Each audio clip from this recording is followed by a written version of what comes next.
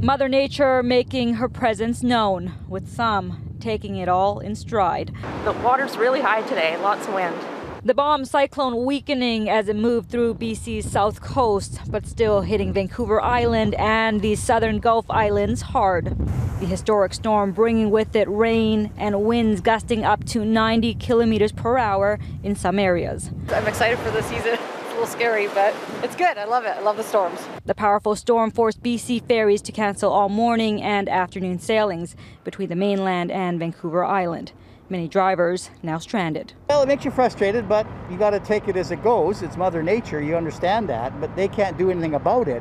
BC Ferries reiterating that the public safety comes first. There are various factors at play uh, that go into the decision to cancel service. Uh, not only would it be the wind speed, but it's the direction of the wind, uh, the sea state, as well as the wave height. Meanwhile, BC Hydro reporting down trees and thousands of outages Monday.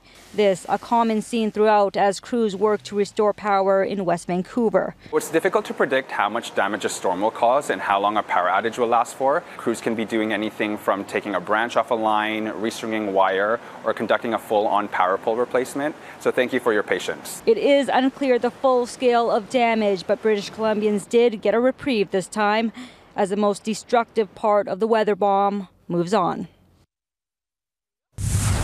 All right, senior meteorologist Kristi Gordon joins us now with more on that storm and why it wasn't as intense as we were expecting. Kristi? Mm -hmm.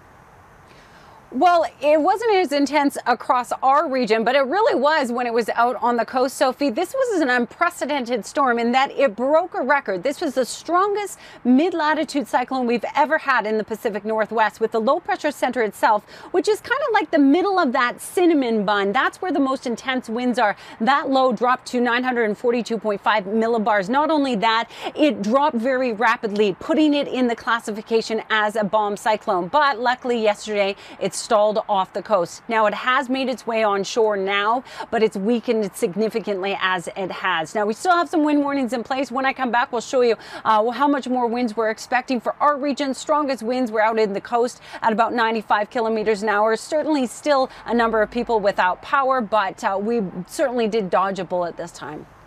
Luckily. All right. Thanks for that, Kristi.